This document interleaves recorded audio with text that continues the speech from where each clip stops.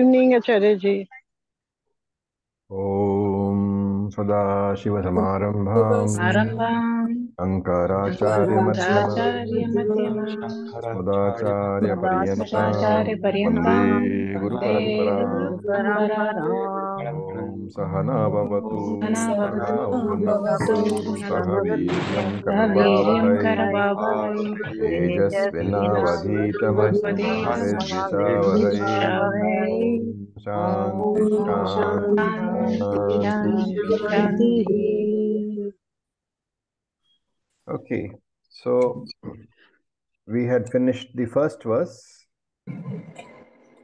and we will now look at the second verse. Let us first chant. Second verse of Sadhana Panchakam. Vidhiyatam bhagavato विधीयतां भगवतो bhakti dridhadhiyatam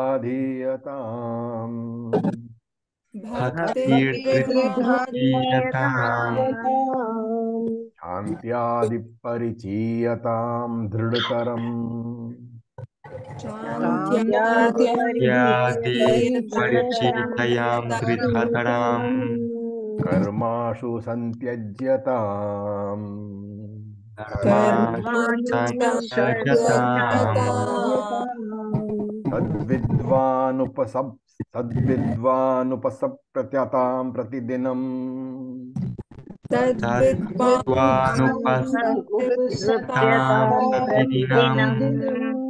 तद्विद्वानुपसृप्यतां प्रतिदिनम्।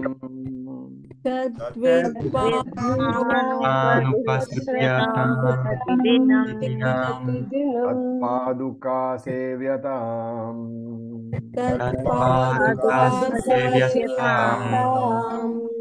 ब्रह्मैकाक्षरम् अर्थ्यतां श्रुतिशिरः।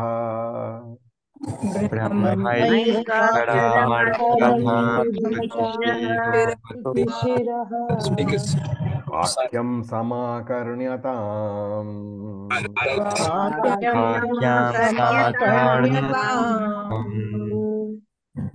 Okay, so I'm just uh, muting all of you.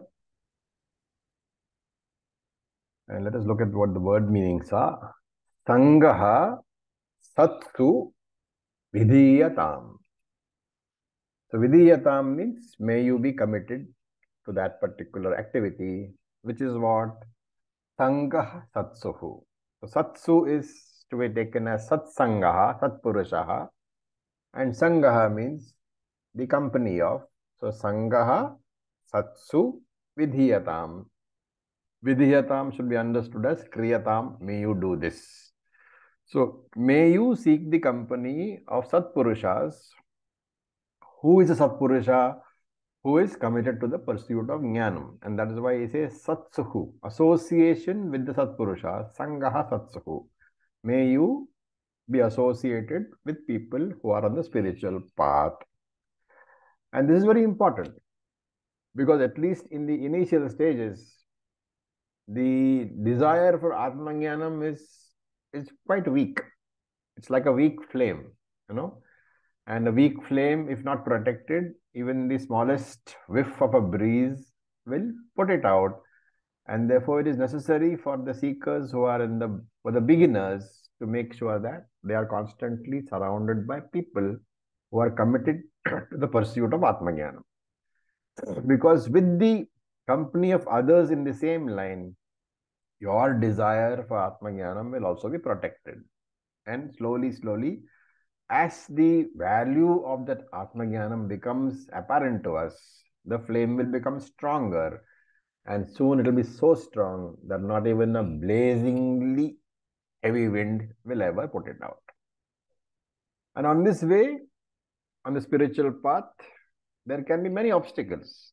You will find external obstacles by way of people who are asking you why you're wasting your time, by way of family members who are asking you why don't you do something more concrete, by way of demands on your time from family members and friends. There will be many obstacles which are external. There will also be many emotional obstacles. You may find yourself coming face to face with, with some parts of you which are unknown to you, some negative aspects of you which are not known to you. And to face that, so you should be ready. Your emotional strength should be there to understand that, yes, this is an obstacle, this is a negative tendency, I have to remove it. And sometimes, if the negative tendencies are very, very strong, and especially those like lust, those like jealousy, which are not thought of well in this world, you may even be uh, find it difficult to acknowledge to yourself that I have these emotional obstacles. And therefore, these obstacles will always be there. Physical obstacles will be there, which are belonging to the external world. Emotional obstacles will be there, which are belonging to your mind. And therefore, we need to get rid of these obstacles. How to get rid of these obstacles? He says, Bhagavataha bhakti drida adhiyatam. Adhiyatam. May you take to, may you be committed to Bhagavataha bhakti. Bhakti for Bhagavan. And what kind of bhakti should it be? Drida. Firm bhakti. So Drida bhakti can also be taken to mean that I have so much faith in Bhagavan that he will take care of me because I am a sadhaka, I am looking for moksha, and therefore Bhag Bhagavan will take care of me. And Krishna says this in the Bhagavad Gita that if you are on the spiritual path, I will take care of all that you require. So there is no worry about tomorrow. That is one meaning which can be given to bhakti. Another meaning can be taken as upasana also, because here we are talking about the various steps which the person is going to go through in a spiritual path. And therefore, after your grihastha ashrama, after brahmacharya ashrama, then there is grihastha ashrama. And the third one is vanaprastha. Vanaprastha, the predominant activity is what? Upasana. And therefore, bhakti can be taken to mean as upasana over here. And upasana always goes together with the Ashtanga Yoga, with Yam, Niyam, Asan, Pranayam, Dharanam, all that goes together. So all this can be taken as the meaning of bhakti. And this is bhakti for Bhagavan. And who is this Bhagavan? So Bhagavan we know. What is the what is the definition of Bhagavan? Bhaga asya asti iti Bhagavan. Bhaga means those particular virtues. And what virtues does he have? He has six of them. So Aishwaryam, Jnanam, Vairagyam, Viryam, Yashas, and Shri. These are the six bhagas, shad bhagas, which are said to be constituting Bhagavan. And he has these bhagas in full measure. And that is why he is called Bhagavan, because what does the suffix van indicate? Somebody who possesses whatever is the prefix. And therefore, Bhagavan is basically a person who possesses all the bhagas. And there are six bhagas. The first one is Aishwaryam. Aishwaryam is overlordship, controlling power over everything. Then Jnanam. So Jnanam can be taken as specific Jnanam or general Jnanam. Specific Jnanam meaning Bhagavan must possess the specific Jnanam of how to create the universe and the various constituents of the universe. So that specific Jnanam also he must have. And there can be general Jnanam, which is that what is what we call Atma Jnanam. That also he must have. General Jnanam of the fact that he is everything. He is the substratum of this universe. That also he must have. So Jnanam is there. Vairagyam, dispassion is there in sufficient measure. And that is why we say that Bhagavan is not affected by what all goes on in the world. Even though he is intimately pervading the universe, he does not get affected by anything which goes on in the universe. And that's why very often this Bhagavan, this Atma, is take uh, the, the example of space is given. Space holds everything, even the dirtiest, you know, uh, stuff in the world, it holds. The purest stuff in the world, it holds. All the contamination which takes place because of pollution, it holds. But that contamination or that pollution, it doesn't pollute the space. So that way, vairagyam is there. Dispassion, the, dif the distance from that which it holds. All pervading, but still not contaminated by. Then viryam. Viryam is the power. It is not sufficient to have jnanam, how to create the universe. It's necessary to have the, the ability, the competence also to create the universe. And that is called viryam. Yashas means the fame. As the creator, he is well known in the scriptures and well known to us also because there must be a creator because we are the created. That is the Yashas. And Shri, he contains, he is the he is the repository of all the wealth in the world, both spiritual as well as material wealth. So Shri also he has. So Aishwaryam, Jnanam, Vairagyam, Viryam, Yashas, and Shri. These are the six bhagas, the six virtues, the six qualities which Bhagwan has. And therefore definition is bhaga, bhaga asya asti iti Bhagavan. The next word is Shantyadi Parichiyatam. Shantyadi refers to Shanta, etc. And Shanta here refers to Sama, Shama. So Shantyadi refers to Shamadi. So Shamadi Shatka Sampattihi, which we all know, we saw in Tattva Those six virtues, the inner wealth which we have, that is represented here. Parichiyatam. Parichiyatam means uh, the collection of, the accumulation of. And therefore here, Shantyadi Parichiyatam means you should acquire or develop these virtues starts, starting with Shanta. What is that? Shama, Dama, Uparati, Titiksha, Shraddha, and Samadhana. Shatka Sampattihi. Right? So Shama is what? The, the ability to focus the mind, to control the mind from going in any direction excepting where you want it to go. Dama is the ability to control the your your very presence. In the presence of some you know object of attraction can you can you can you make sure that you can walk away? So dama is not required where shama is there because shama is full control of the mind. And if you have full control of the mind you can sit in front of the most tempting object also and yet your mind will not fluctuate but in the initial stages when there is something very tempting in front of you or where, is, where there is a situation which is very upsetting in front of you, to be able to maintain the mind without disturbance is not easy. And therefore, in the beginning, you should exercise Dama. Dama means control of the sense organs. So you can choose to move away from the source of the disturbance. That is Dama. Once Shama is sufficiently developed, Dama becomes irrelevant because you don't have to move away from any irritation or any source of distraction, your control of the mind, Shama itself will take care of it. Then there is Uparati. Uparati is technical meaning over here. Shama is to bring the mind to a quiet state. Uparati is to maintain that quiet state. So one is the effort at bringing and one is the effort at maintaining. And there is titiksha, forbearance or tolerance. Whenever some problems are there, you should bear up with it extreme heat is there, extreme cold is there. Instead of complaining, I just bear up with it. Then Shraddha. Shraddha is devotion or faith. The more the correct explanation is faith. Shraddha in what?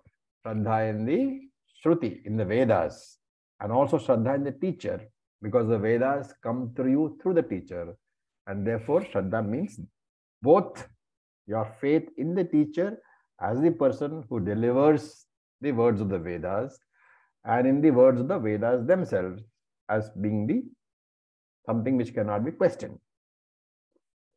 And the last one is samadhanam, the ability to keep a one-pointed mind. Chitta ekagrata is samadhanam. Okay. Then what is the next one? Dridataram karmashu santyajyatam. So here, when you say karma, we are talking about uh, Vaidika karma, okay, karma which is mandated in the Vedas. So what we call Vihita karma or Vaidika karma. And Ashu, the term means quickly. And what does he say? So you have to break the words up. Dhrutaram karmaha santyajyatam ashu. So tyajyatam is to give up. Give up. So karmashu Santyajatam ashu. Quickly. Karmashu santyajatam. Give up the karma completely. And how should you give it up? Dridataram, very firmly, your mind should be made up and you should give up karma. Then what should you do? Sadvidvan upasrap, upasripyatam. Upasrapam is to approach. Sadvidvan here is a guru, a Brahmanishta Shrotriya guru, the one who is who is uh, in the sampradaya. That means he has he himself has had a teacher, and he self-realized person also. Such a person is called Brahmanishta Shrotriyaha. Shrotriyaha refers to the fact that he has heard the teaching from his teacher, and therefore he is aware of the prakriyas, the various uh, ways in which you have to teach. There is a particular procedure for teaching the Vedas, and that that should be that this guru should be aware of. And he can be aware of only if, if and only if he himself has been taught.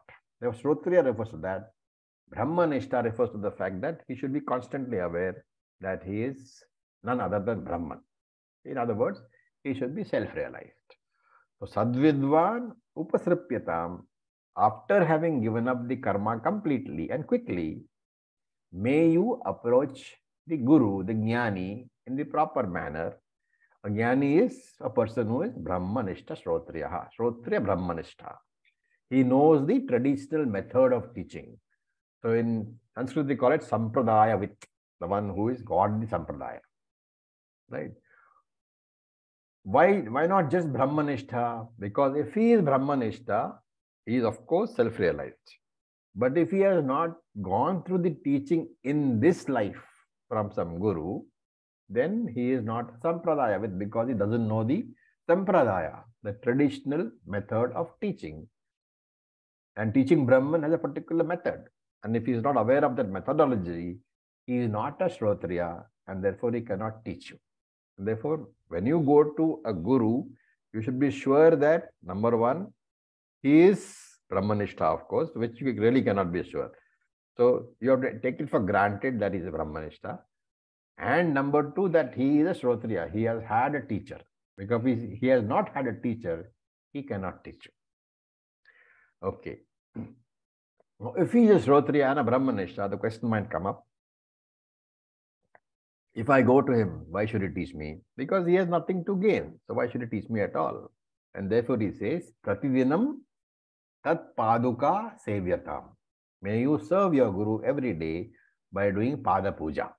Pada puja can mean worshipping his feet, and padukas can also be taken as sandals. The word here is uses paduka. Paduka can be taken as the feet, can be taken as the footwear of the guru also. Both meanings are possible. May you do that puja every day to the acharya. And this is very important because we saw in the 13th chapter of Bhagavad Gita, Acharyopasanam Shaucham, that you have to serve the Guru and there only can you get knowledge. And why should you do the Pada Puja? What does Pada, how is Pada Puja done? You have to bend down to touch his feet or his sandals, right? It's a sign of humility that you are submitting to the teacher and the teaching. And by regular, regularly practicing this Pada Puja, the ego gets weakened. So this is, there is of course another significance to Pada Puja because it brings into being the into focus the fact that acharya is necessary. And therefore here Shankaracharya is telling us shastram is accessible to us only if you got an acharya. Without acharya you can go through all the shastrams you need. You, you can go through all the books you can read all the books but you will not understand you will not get the benefit so shastram and scriptures you know, if you want to have a modern example, it can be like a DVD and the DVD player. The DVD contains the music, right? But it is available through you only through the DVD player. Both must be there. The DVD player by itself is of no use. The DVD by itself is of no use. So you can compare the DVD to the Shastram and the DVD player to the Acharya if both are there, then only will this be available. Therefore, to the student, the Guru himself represents the Shastram. And that is why Tattvabodha we saw Shastra Guru Vakyeshu Vishwashaha. What was that? Shraddha. Tatvabodha defined Shraddha as Shastra Guru Vakyeshu Vishwashaha. Faith in the words of the Shastram as conveyed through the Guru. And therefore, the student must trust the teacher as much as, he, much as he trusts the Shastra. The faith should be there. Shraddha should be there in the teacher as much as Shraddha is there in the Shastra. and when you say Shraddha, you know, there really is no logic. In, in faith, in Shraddha, you can't use the term logic. And that is why in today's world, most educated and rational people, they dislike the word Shraddha because it is not derived, logically derived from anywhere. The moment you say Shraddha, people think of blind faith. But in our in our view, Shraddha can be developed through the puja, etc. And first, of course, you have to be a Vedantic, which means Vaidika. Vaidika means you must trust the Shastram first, primarily. And then through this practice of puja and going through the daily daily rituals and serving the teacher, slowly, slowly, trust between the student and the teacher is built up. Until the student trusts the teacher, the teaching cannot take place. And that is why, if you read the scriptures, you will find that when the student went to the teacher, immediately teaching would not take place. The teacher would ask him to do some work in the ashram for some time, you know, six months, eight months, one year. During that period, what was the idea? That the teacher would get to know and understand the student, would, would find out whether he has the necessary qualities, whether he is an adhikari, and if he is not an adhikari, he can put him to karma yoga and upasana into, until such time as that adhikaritvam builds up. And in this process, while the teacher begins to understand the student and his, and his weaknesses and strength, the student begins to respect the teacher, honor the teacher, and have faith in the teacher. Once this process takes place, when Shraddha has developed, then only teaching can take place. So there is a word called Sushrusha. Sushrusha basically is, uh, is derived as Shrotrum Icha. It is Sushrusha. The Shrotrum Icha means the desire to hear, the desire to hear the words of the Shastra, which means desire to learn. That is the meaning of the word Sushrusha. But in today's interpretations, it has come to mean service to the Guru also. And what I have just told you, the methodology by which desire strengthens and faith builds up, that is why it has been called as service to the Guru also. Not the literal meaning, but it is a derived byproduct meaning. Then the other words are ब्रह्मक्षरम अर्थ्यता so once this bond between the teacher and the student is established then ब्रह्म एक अक्षरम अर्थ्यताम अर्थ्यताम means प्रार्थना प्रार्थना prayer so may you ask for what ब्रह्म एक अक्षर for the knowledge about the एक अक्षरम Brahma And Ekaksharam is uh, can be defined as in Sanskrit as Ekam cha Aksharam cha iti Ekaksharam. Ekam cha, that which is non-dual. Aksharam cha, that which is free from destruction. So Ekam cha, Aksharam cha means free from the limitation of space, free from spatial limitations. So that is one definition. And the other definition of Aksharam is Nasharati, Naksharati iti Aksharam. That which is not subject to destruction. That means free from time limitation. So both ways, Ekam cha Aksharam cha iti Ekaksharam means this Brahman is free from spatial limitations, which means what? That Brahman is all pervading. It is there everywhere. There is no place, no space where Brahman is not there. And that is why free from spatial limitation. And Naksharati, it means that which is not affected by time, that which is not destroyed in time, and therefore free from time limitation. So Brahman has been defined as free from spatial and time limitations. That Brahman arthyatam, you should ask for knowledge about that Brahman. And when should you ask? Once this teacher has decided that you have the necessary qualifications.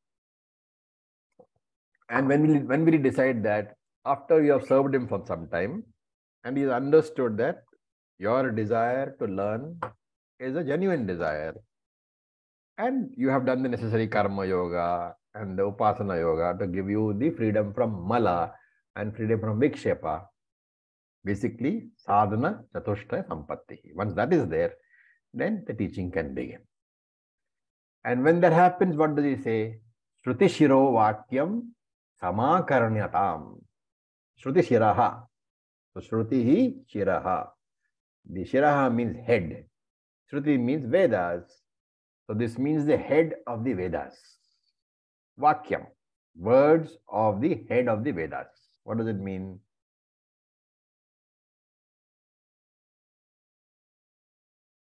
what does words of the head of the vedas mean?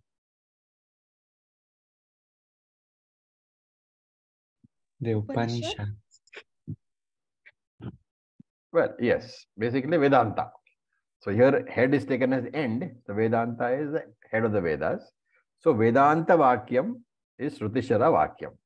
So- So that you should study. And how do you say that? Samakarnyatam. May you listen to that Shrutishira Vakyam. May you listen to Vedantic words properly, with attention, systematically, and for a long period of time, for sufficiently long period of time. And what happens if you do this? You will understand the significance of tatpada, the word Tat, and Tvam Pada, you should understand. And therefore, Tat, Tvam, and Asi. Asi Pada is the is the identity between Tad and Tvam. So you should understand the full meaning of Tat and Tvam Pada. Once you understand that, what will you know? You will know that whatever is there, present all the time, is my essential nature. Whatever comes and goes is my incidental nature. And what is the conclusion? Tat is equal to tam, tvam. Because when you equate tat, which here represents Ishvara, and tvam, which represents Jiva, what happens? Tat is equal to consciousness plus the universal upadhis. And tvam is equal to consciousness plus the micro upadhis. So tat is consciousness plus macro upadhis. Tvam is consciousness plus micro upadhis. If you have to equate them, what comes and goes? The macro upadhi comes and goes because the world goes into pralayam also, destruction also. So macro upadhi comes and macro upadhi goes. Our bodies also come and go. The micro upadhi also comes and goes. And therefore, this coming and going part of it is incidental nature. What does not come in the and go is the same in the case of Tatpada and Tvampada.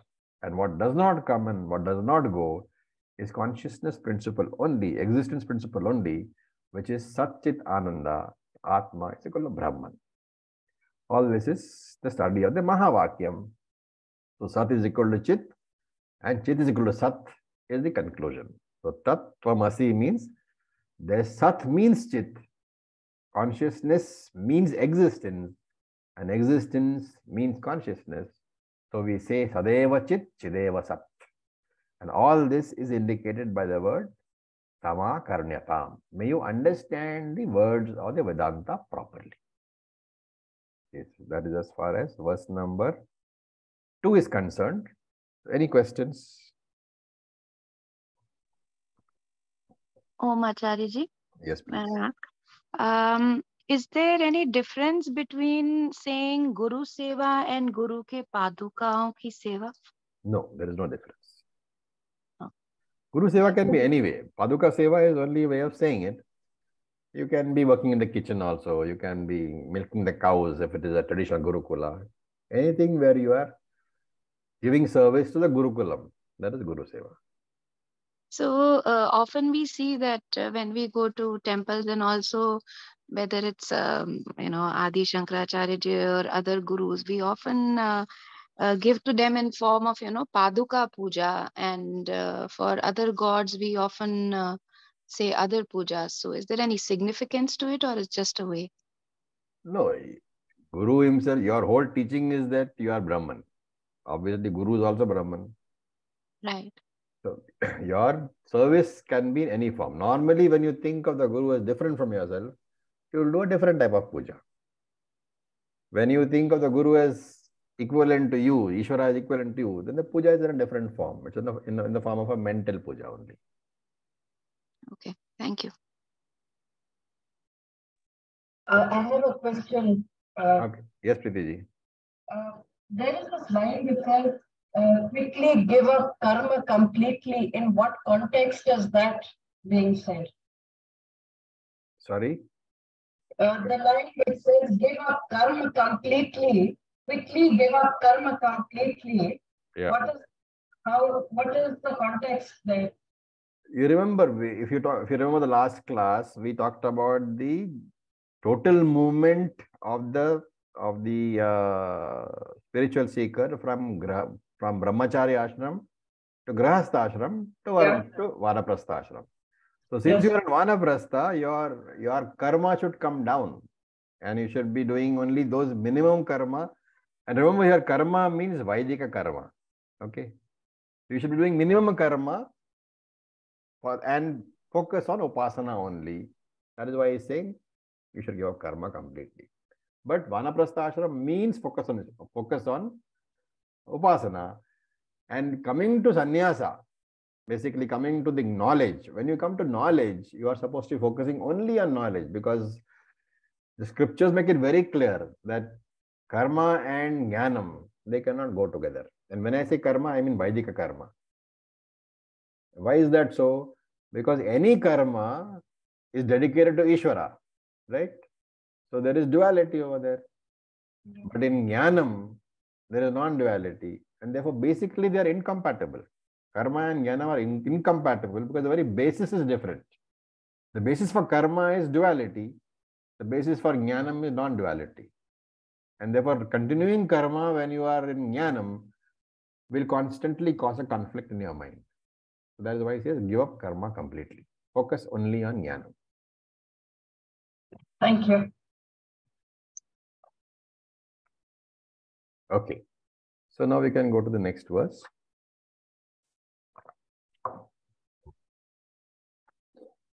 So we will chant.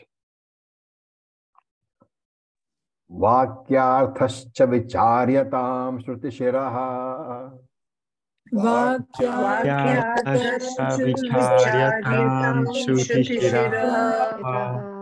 पक्षः समाश्रीयताम्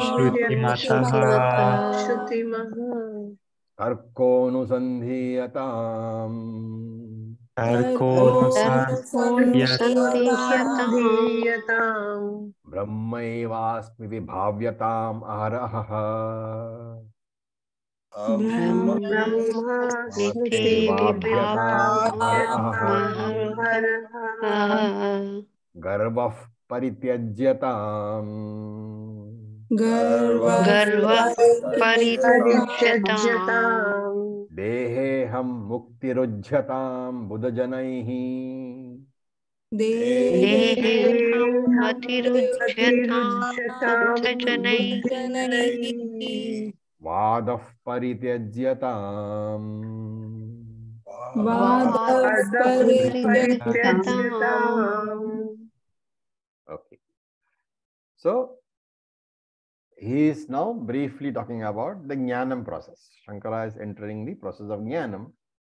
And in the first three lines, he talks about three things Shravanam, Mananam, and Nididhyasanam. So, remember that if you use the regular Sanskrit dictionary, Vedanta is difficult to understand. You know, so traditionally we there is a key, there is a way of understanding tradition uh, Vedanta, which is called the Mimamsa Shastram. And Mimamsa, Mimamsa means the analysis. the method of extracting the correct meaning from the Vedic words. So without this key, Vedas will appear meaningless and often very contradictory. Okay, so for example, uh, in Kaivalya Upanishad, there is there is a mantra which says etasma jayate pranaha manas sarvendriyani cha हम वायुर्ज्योतिराप पृथ्वी विश्व से धारिणी। Which mean from Brahman all this is born ए तस्मा जायते ब्रह्म, प्राण, जायते। From Brahman all this is born which is what प्राण, मन सर्व इंद्रिया वायु, ज्योति, आप, पृथ्वी विश्व से धारिणी। Entire the Prithvi also which is the holder of the entire universe all this is born and when you look at this normally what will you think You will find that when something is born from something else, then two things happen. When, when the mother gives birth to a child, earlier there was only the mother. Now there are two things. One is the mother and one is the child. So normally you will say, when look at these verses, you will think that from Brahman the universe is born. And therefore Brahman is also there and universe is also there. But from Mimamsa Shastram, we come to what conclusion? That Jagat, the universe, is really mithya. And therefore, there are no such things as Panchabhutas in reality. They are all mithya only. So, there are no real two things. There is only Brahman. Jagat is mithya and therefore cannot really be counted. And all this is analyzed through what we call the Shadlingas. There are, there are six lingas, six indicators for analysis of the words. And sooner or later, in one of these texts, we will do that also. But right now, if you look at the words, he says, Vakyartaha vicharyatam. So, Vakya arthaha, the meaning of every statement, every vakyam, vicharyatam. May you analyze the meaning, may you inquire into the meaning of every statement in the Veda and especially you should inquire into the Mahavakya Artha, the meaning of the Mahavakyas. So Vakyarthascha Vicharyatam, may you inquire into and understand the meaning of all the Mahavakyas.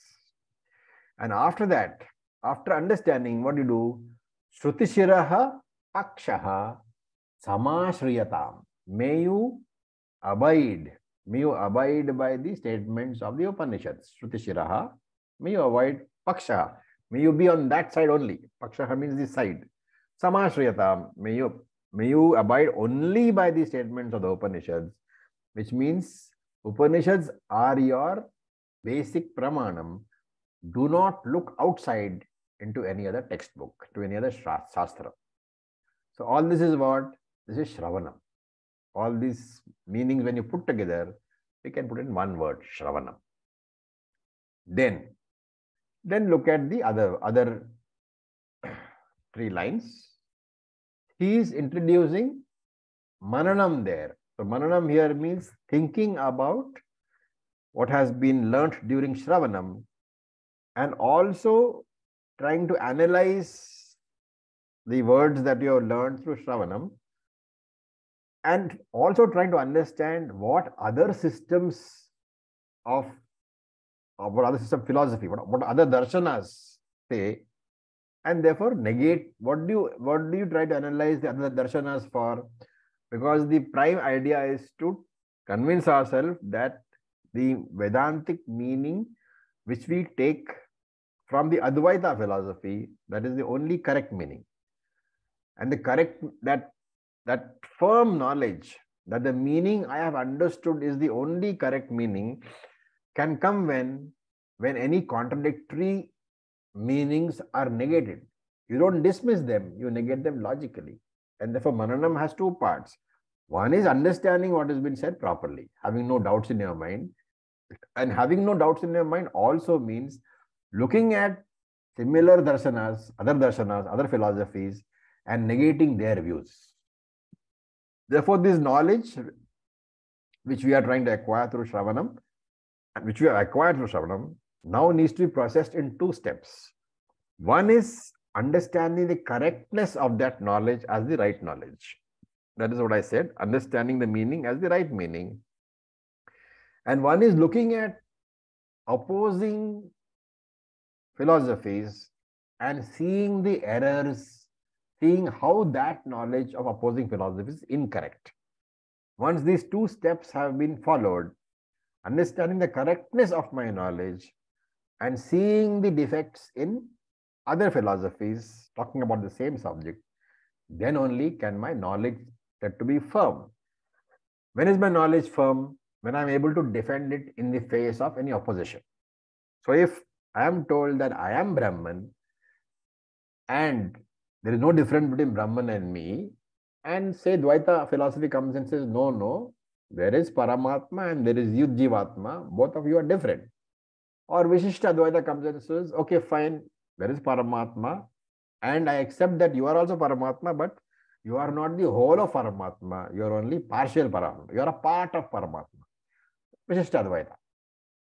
That also I have to be able to defend against. And using all the correct logical steps as well as the Shruti Vakyam, I have to be able to defend. Once both parts are clear to me, what is the correctness of my philosophy as well as what is what are the problems in the other philosophy, then only is my knowledge firm. So in there can be a number of opinions, right? There are so many darshanas. There can be multiplicity of opinions. But I should be convinced that yes, there can be a number of opinions, but the right statement can, can only be one. Opinions can be many, one will be right, the others will be wrong. And therefore, it is wrong to say that Hinduism accepts everything. Hinduism accepts that people can have different viewpoints. We don't condemn anybody for the viewpoint, but we say there is only one right viewpoint, Brahma Satyam Jagan Mithya. And to defend that viewpoint of Brahma Satyam Jagan Mithya, it should be possible for me to be able to take on the, the arguments of any other opponent and, and demolish them. If I can do that, then only is my knowledge firm. This is the net product of Mananam. So, for example, um, Vedanta says that Jiva Jagat Ishvara is one. Okay. Vedantic teachings about Jiva, Jiva Jagat and Ishvara. What are they? You, the Jiva, are infinite and immortal. Number two, Jagat is Mithya. So you are Satyam, you are infinite, you are immortal. And who are you? You are the Jiva. Jagat is Mithya. And third one is what? Jiva Brahmaina Paraha. You and Ishvara are not different, right? So the Lord is omniscient and you are the not different from the Lord is omniscient. And very often it is difficult for me to accept this. You know, very often I don't even know the spelling of omniscient. Forget about the fact that the Lord is omniscient and I am omniscient. And what do other darshanas tell you? They tell you that you are the miserable jiva and there is a Ishvara who is protecting you. And that is easy to believe. It's easier to believe that I am a miserable jiva who, who's living in this world, which is troubling me constantly. And therefore, I require the protection of Ishvara. That is easy to believe. But Vedanta is not saying that. Vedanta is saying, you jiva are infinite, Brahma Satyam, Jagan Mithya, Jiva Brahman Apara. You and Ishvara are not, not different. And all other systems, remember, they claim that they are Tarka Pradhana Shastram. They are based on logic only. And this is very appealing, right? When somebody says that, oh, you're talking only about Shruti, but you know, Shruti doesn't you know, give you any proof. It just says things and you have to accept. But I am giving you logic. So all the other darshanas, Dvaita system, Advaita, uh, Vishishta Advaita system, all of them are heavily logic based. But we Vedantics are Shruti Pradhanam. And for us, logic, Tarka is a supporting discipline only. And that is why for us, Shraddha becomes very important. And therefore, a thorough analysis of all the other systems in relation to the teachings of our system, the ability to refute and demolish their arguments, this is the essential component of, of Mananam. And when we study other systems, we cannot use only Shruti. In fact, because other systems rely predominantly upon logic, upon Tarka, to refute them on their grounds, what do you need? You have to use logic. Because you cannot say that I don't agree with you on, you are giving a logical statement. I don't agree with you because Vedanta, the Veda or the Upanishad gives a statement which is contradictory. So that is not acceptable to the other systems because for them, Shruti is subsidiary and logic is primary. For us, it is the other way around. Shruti is primary and logic is subsidiary. And therefore, if we have to be able to fight them on their grounds, we should not only be strong in Shruti, we should be strong in logic also. In fact, there is a whole chapter in the Brahma Sutras where Shankara proves that logic is logic alone. I'm not saying only logic, that logic alone is not competent to reveal the truth. And he gives a number of examples to show the deficiency of the logic. He, he points out how logic has limitations.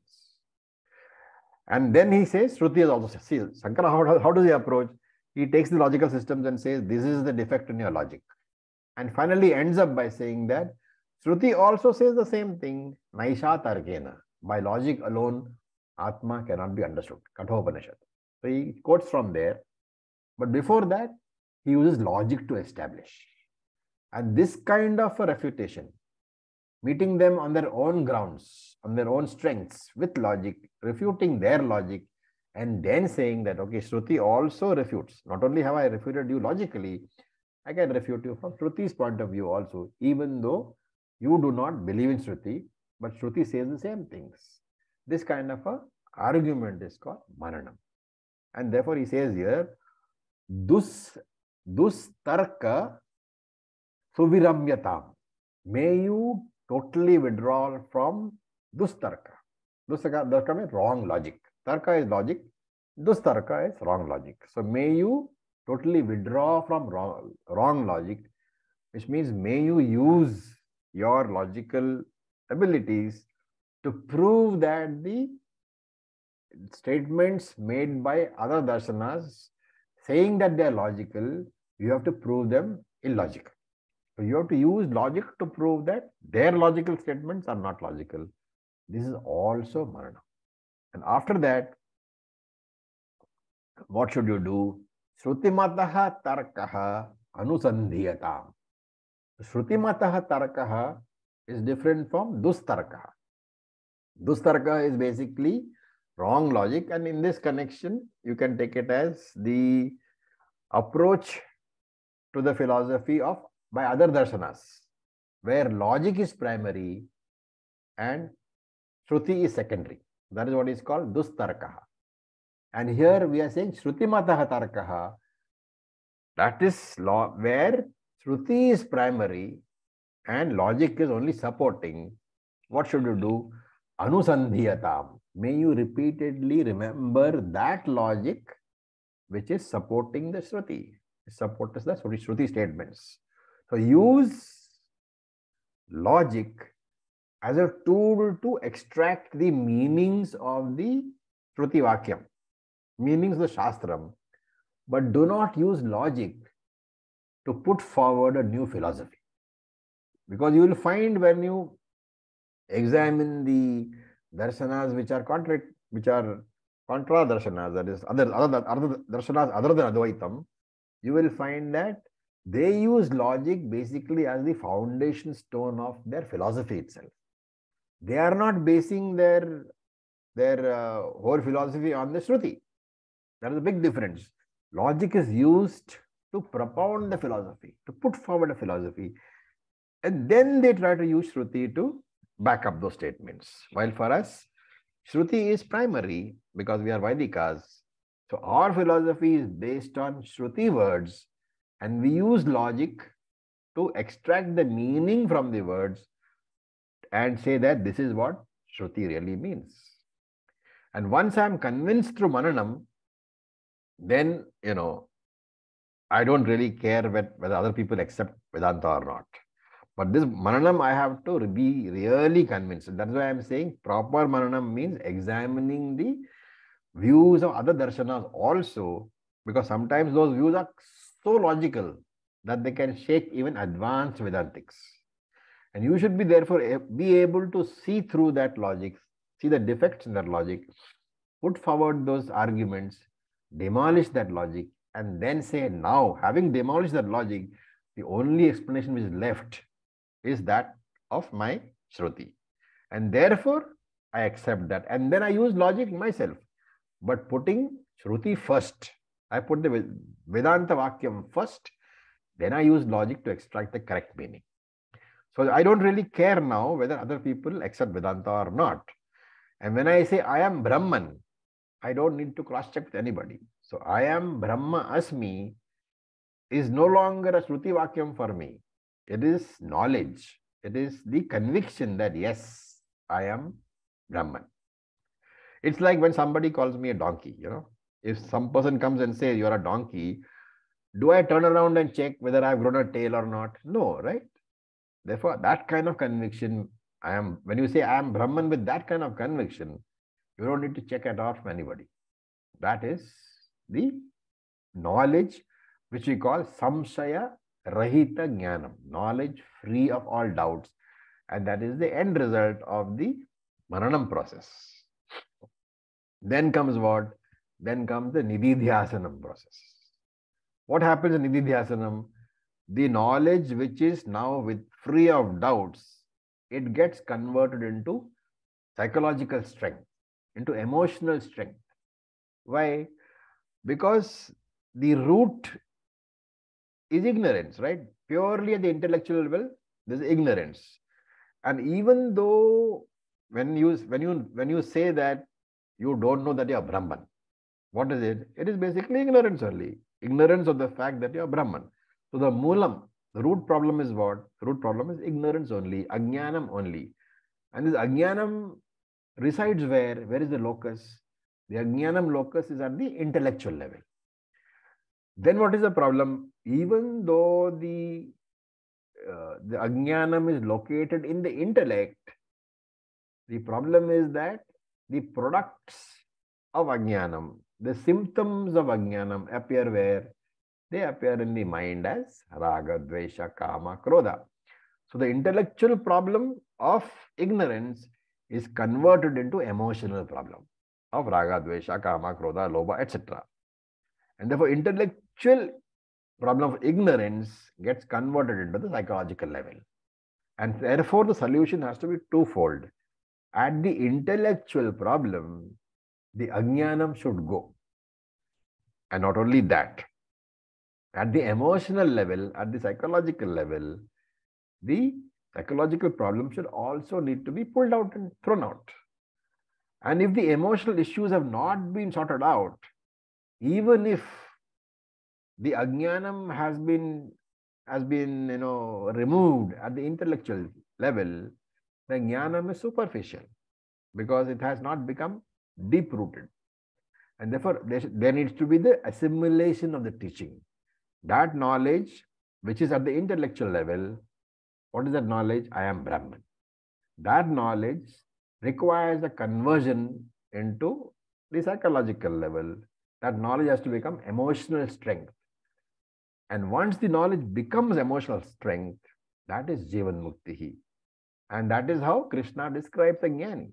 If you remember verse number 56 of chapter 2 of the Gita, Dukkheshvanu digna manaha sukheshu vigata vitaraga bhaya krodaha sthitadhir munir uchyate. The benefit is always at the emotional level. When you eat, for example, this happens in other processes also. When you eat food, assimilation is a natural process. But when you acquire Atmajnanam, to convert that it require into emotional strength, it requires huge amount of work. And it's very often a lifetime job. And sometimes that job spans across various lifetimes. You may become a jnani in this birth, but if the effort has not been sufficient, or if your prarabdha karma is not supporting, it may not get assimilated. So in your next life, you will start with the jnanam, but you will continue working for the assimilation. So I, how do I do this job? In Nididhyasanam, I have to start with my small problems and slowly, slowly work myself up the ladder, addressing all my weaknesses one by one. And therefore, I should be constantly alert. And why should I be alert? Because in daily transactions, I have to keep observing which are the weaknesses which are surfacing in my mind. And I have to alert, I have to address them during my daily nididhyasana. And this is what is being said here in this verse. ब्रह्म अस्मी विभाव्यताम। विभाव्यताम means to meditate or contemplate or think about so विभाव्यताम may you meditate upon the teaching Brahma Asmi not I am Brahman. And together with that what should I do अहम देह मति। The idea that I am the body अहम देह मति। मति means the thought or the idea Aham dehaha, I am the body. What should happen? Ujjayatam should be given up instantly. I must be able to see my body. So right now I say I am the body, but I must be able to reduce my body to one of the objects of the world. I must become objective. And therefore, I must see that my body is also one of the objects of the world, which means I must lose attachment to that body. I must be as objective about my body as I will be about the bodies of other people. And what should be what should be the frequency of meditation? He says ahara ahaha. So ahaha ahaha daily, repeatedly. This should be done. What should be done? Shankara gives general instructions. Garva parityajatam. Give up pride. No arrogance should be allowed to surface. Remember that there can be vidya garvam also. There can be arrogance about having the knowledge that I am a great scholar. I know all the Vedas. I know all the Upanishads. That also should be strictly guarded against. Why? Because what does Jnanam do? Jnanam is supposed to remove all arrogance, right? Arrogance comes of what? About the of the attachment to the I, the RC. The moment you say I, I am the RC, I know this, I know that, you're talking about the lower I. And Jnanam is supposed to remove the identification with the lower I. Therefore, Jnanam is supposed to re- remove all arrogance. But if the Jnanam itself produces pride, then there is a big problem.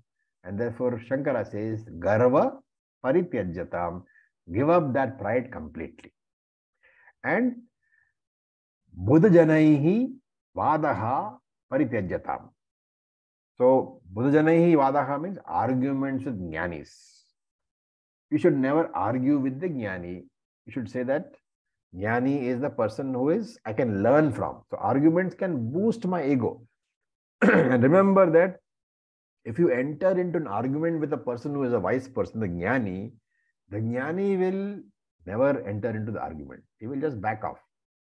Unless you are the teach, unless the jnani is your teacher and you are asking properly, you will find that jnani will not enter into an argument with you. So what will happen is you will lose the opportunity of learning. And therefore, here it is important to understand the difference between the words vada and samavada. So vada is what? Vada is a conversation between equals. So I look upon the other person as an equal, and therefore I already have a conclusion, and I want to prove the con- my conclusion is correct, and I want to refute the view of the other person. So that is vada. In samavada, what happens? I look upon the teacher as higher in status to me, wiser than me, and you can see this in the language itself. So many in the entire Bhagavad Gita begins with questions.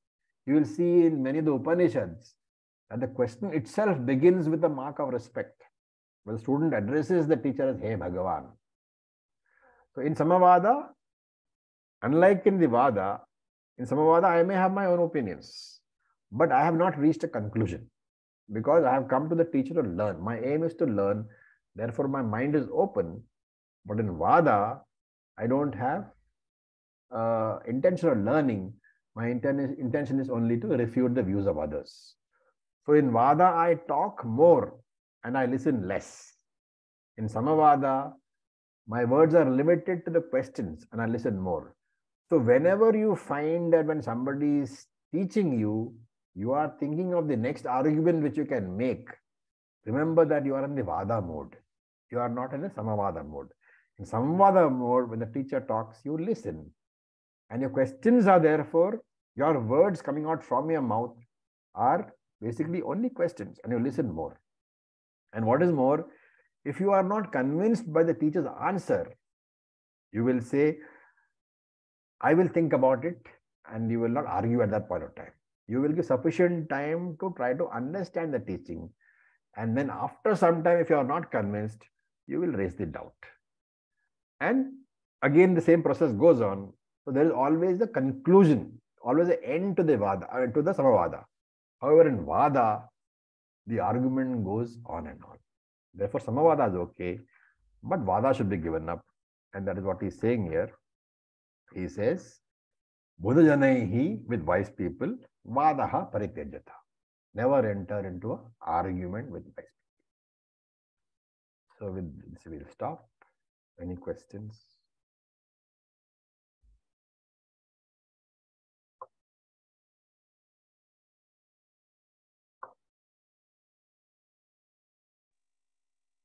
Okay.